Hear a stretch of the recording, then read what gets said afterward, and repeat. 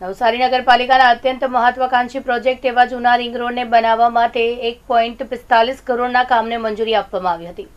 દસ વર્ષ પહેલા મુખ્યમંત્રીની સડક યોજના અંતર્ગત રિંગ રોડના કામને મંજૂરી આપવામાં આવી હતી જોકે ત્યારબાદ આ રોડની કામગીરી ખોરંબે ચડી જવા પામી હતી. જો કે દસ વર્ષ બાદ ફરીથી પાલિકા દ્વારા જૂના રિંગ રોડ બનાવવાની કામગીરીને મંજૂરી આપવામાં આવી છે.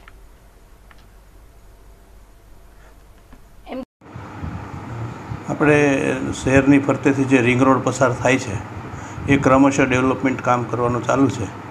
હાલમાં ભેસત ખાડાની એક સાઈડે જે રોડ બનેલો હતો અને ડિવાઈડરની બીજી સાઈડનો જે રોડ બાકી હતો, એ આપણે લગભગ છ સાત મહિના પહેલાં એના એસ્ટિમેટ બનાવી, પ્રાદેશિક કમિશનર કચેરીમાંથી મંજૂરી કરાવી અને એના ટેન્ડર મંજૂર કર્યા છે. એટલે ટૂંક સમયની અંદર એ કામ પણ ચાલુ થઈ જશે.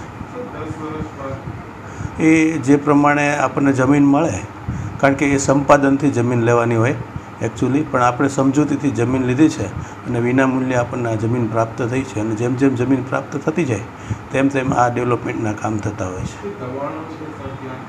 જે દબાણો છે એમાં જે દબાણો રિંગ રોડની અંદરના દબાણો હશે એને દૂર કરી અને રોડ બનાવવામાં આવશે.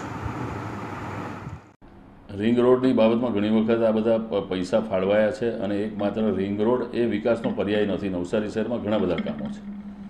અહીંની પ્રજા, જે મૂળ પ્રજા છે, વર્ષોથી જે ટેક્સ પેયર છે, તેને પીવાના પાણીની તકલીફ છે, એને રસ્તાની તકલીફ છે, એને ડ્રેનેજની તકલીફ છે, એને રસ્તાના ખાડાની તકલીફ છે, ઢોરની તકલીફ છે, આ બધા જે કામો છે એ કરવા લાયક ને રોજિંદા ઉપયોગમાં આવતા કામો છે.